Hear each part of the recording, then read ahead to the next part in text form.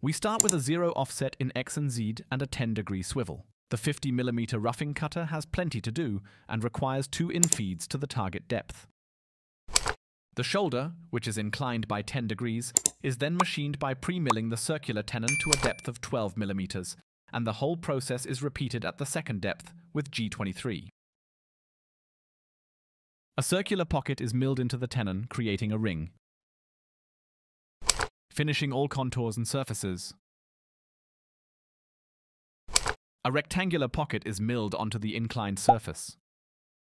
Now it gets exciting. The ring becomes a tower with battlements. Each battlement is programmed individually. Then the ring is rotated incrementally and the program is repeated. Two curved grooves follow around the center of the tower and an M12 threaded hole. Finally, the battlements are given a chamfer.